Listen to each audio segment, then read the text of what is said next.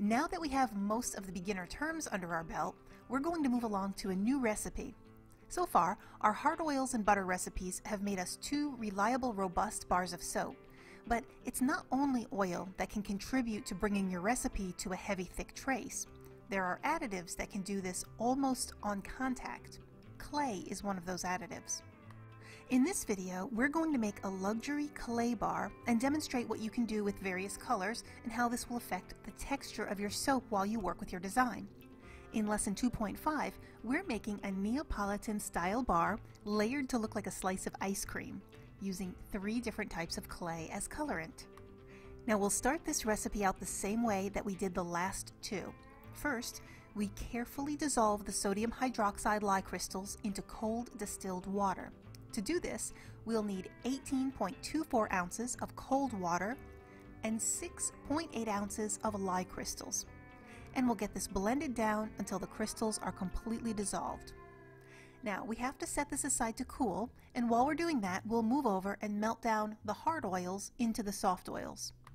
For our oil combination we will need 16.8 ounces of classic olive oil, 16.8 ounces of lard, 12 ounces of coconut oil, and 2.4 ounces of castor oil.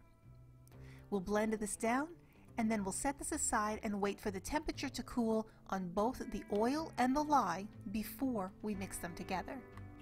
While we wait for those to cool, let's take a look at the clays that we'll be using in this recipe. Now since this is a Neapolitan bar, we'll need black, a white, and a pink clay to match the color theme. Clays come in over a dozen different shades, so for this design I'm using white kaolin clay for the vanilla, black Brazilian clay for the chocolate, and rose clay for the strawberry. Now the links to these exact products will be at the bottom of the page if you want to replicate this exactly. Now we're just going to get this set up and pre-prepared by measuring out 3 quarters of an ounce of each of these colors and get them ready to be incorporated. Now this is my suggested max usage rate on adding clay to any recipe. This is a lot of clay and the typical usage rate is 1 teaspoon per pound of soap. So this is considerably more. Three quarters of an ounce is three tablespoons. And here, you're going to see a demonstration on what kind of bar will be produced and also what this will do to the batter while you're working with it. Once our lye and oils are cooled, I'm going to make each layer of soap in this design separately because I want to have complete control over the trace as each layer is setting up. So I'm going to separate the lye water solution into three parts.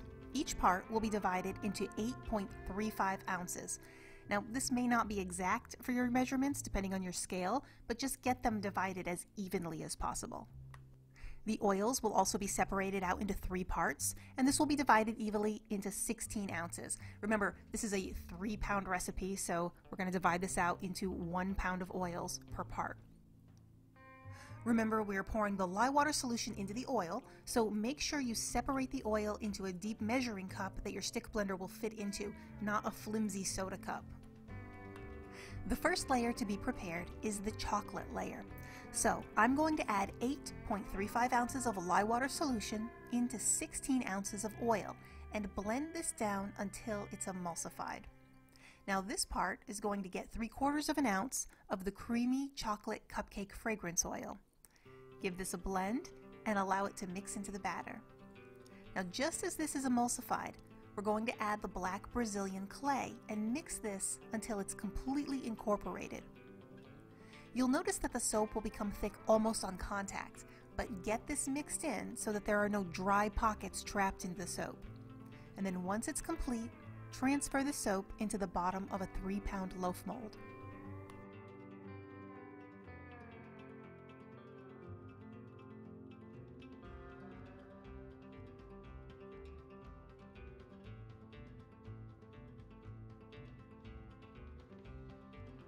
Try to transfer the soap batter while it's still thin enough to pour.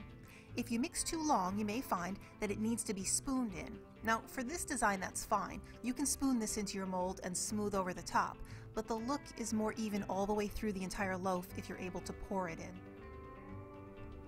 Now, I want this layer to have enough time to set up so that the next layer can be poured over the top without interrupting the first layer. Now, this may take about three minutes, but we're not going to wait too long because if the soap on the top gets too hard and dries up, then the next layer won't stick. You want to pour the next layer while the first layer is firm but still sticky. Next, we'll step aside and mix the second cup of lye water solution into the second part of oil. Blend this until it's completely emulsified, and then add the white kaolin clay and mix well.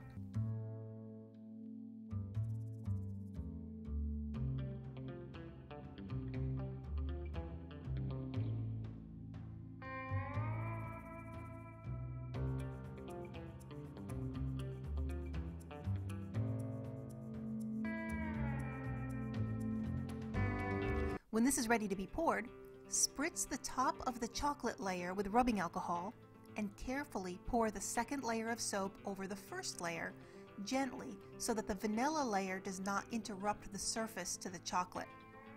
Then we'll give this three minutes to set up like we did with the first layer.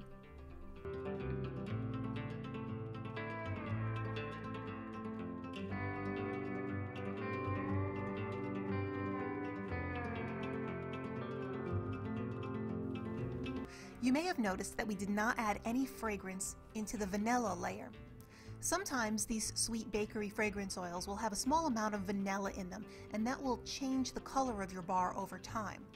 In order to keep our white kaolin pristine white during the curing process, I'm not going to put any additive into it that could disrupt that color. And finally, mix the last part of the lye water solution into the last pound of oils.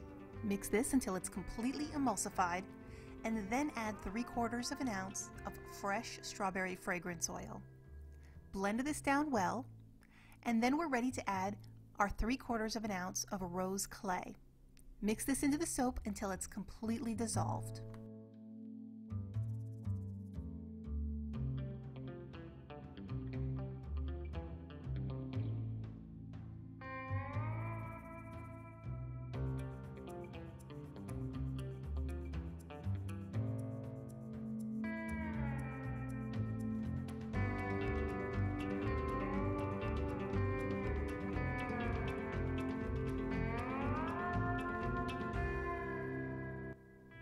Once we're ready to pour the final layer, check on the firmness of the second layer and see if it's ready to hold that third layer.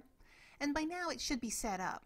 So spritz the top with rubbing alcohol to help it adhere to the surface and gently pour the strawberry layer into the mold. Spritz that surface with rubbing alcohol as well to keep the soda ash away and leave this alone for 24 hours to set up.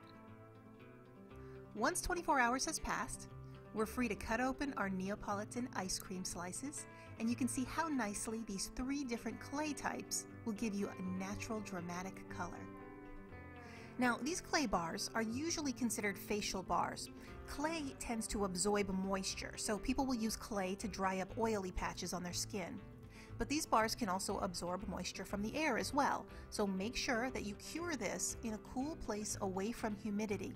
If the air is too humid, like maybe if you live down south in midsummer, these bars can get soft and crumble if they aren't stored carefully.